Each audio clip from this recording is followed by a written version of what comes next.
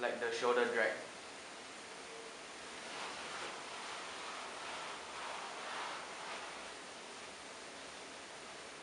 Or the human crutch.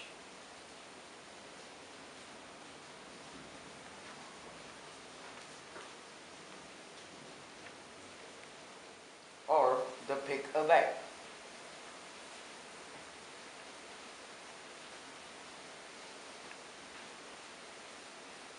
or the fireman's lift.